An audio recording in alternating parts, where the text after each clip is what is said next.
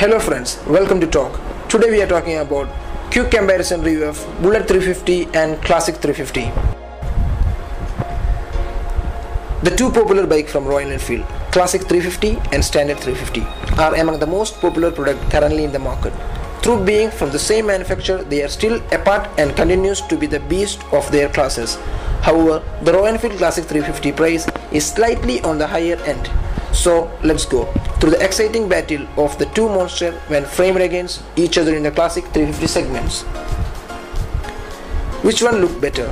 In terms of design, Classic 350 looks similar to its elder sibling, the Classic 500. It features tiger eye lamps and circular headlamps up front, similar to the Bullet. Its curvy silencer look highly appealing and comes with a newly designed fuel tank. It offers two types of seating include a solo rider and a split seat for the pillion rider. In terms of brake, the bikes feature disc brake and the front wheel and a drum brake at the rear wheel. Now it's coming with rear disc also. On the other hand, the standard 350 also known as Bullet 350 continues to exhibit the vintage look of the Bullet and make the presence felt on the roads with its thumping sound and heavy structure. It offers a standard two-seater while the classic styling of the fuel tank gives a retro look. The suspension system is nearly similar in the both models with an upfront telescopic fork and rear shock absorber.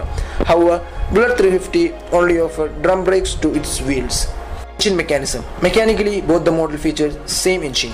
Both the Classic 350 and Bullet 350 get a 346cc single-cylinder air-cooled engine that churns out of maximum power output of 19.8 bhp against peak torque of 28 Nm and comes mated to a 5-speed gearbox.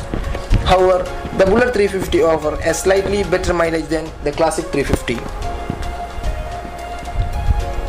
If you are looking more towards easy and safe usage option for the Classic 350 as it comes with e-starter and disc brakes to boost your riding confidence. Still if you are looking for a vintage design of the standard 350 to be prepared for the kickstart and lesser effective braking system. This is the comparison video of Bullet 350 and Classic 350.